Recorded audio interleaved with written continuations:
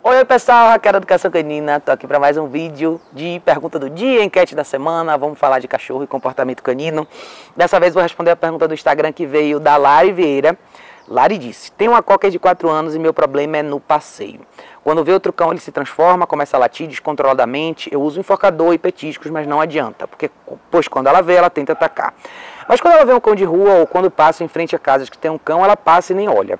Já não sei o que fazer, pois ela sai todos os dias, três vezes por dia, só faz as necessidades na rua, mas mesmo assim não tem jeito. Em casa fica tranquila, aprendeu a sentar, deitar e ficar, dar a pata, mas na rua só senta depois de ficar procurando o cachorro para brigar. Lari, obrigada pela sua pergunta. Super relevante, é um tema que eu tenho falado bastante, a questão de reatividade de cães na guia. Algumas coisas para se considerar.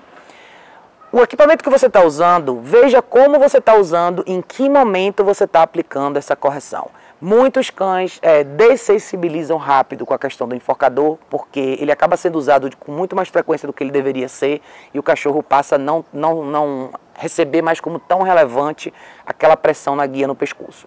Esses são típicos casos que eu super recomendo você tentar fazer um investimento num equipamento melhor. De preferência a coleira eletrônica, que para mim é a melhor ferramenta que tem para você corrigir esse tipo de situação. Eu sei que é um investimento um pouco mais alto, mas com certeza você vai ter um resultado bem mais efetivo. Porém, eu sempre gosto de deixar esse asterisco aqui nos vídeos quando eu falo da coleira eletrônica, porque a ferramenta em si, ela não trabalha sozinha. Ela tem que ser uma extensão de você. Então, para você ter um trabalho efetivo com a coleira eletrônica, você tem que entender a questão do momento certo de intervir. E no seu caso em particular, o momento certo de intervir é quando o seu cachorro olha, vê aquele outro cachorro, ele muda a linguagem corporal, ele fica mais aceso, o olho arregala, é ali que a sua correção tem que acontecer, tá? Outra coisa que eu acho legal você fazer é, preste atenção ao longo dos seus passeios, quando que esse momento acontece? Se é quando existe proximidade, ou se é quando seu cachorro vê outro cachorro à distância, se é quando vocês estão na mesma calçada ou não. Porque é legal você ter notado que quando ele passa por portões ou tem cães de rua, ele não necessariamente se sente ameaçado, se essa for a palavra, né? ou, ou na necessidade de reagir. E o que eu vejo de forma muito comum são cães reativos evoluem na reatividade porque a gente acaba não necessariamente sabendo advogar pelo espaço deles e eles, esses cães são normalmente cães que já tiveram experiências ruins de encontros na rua, na guia.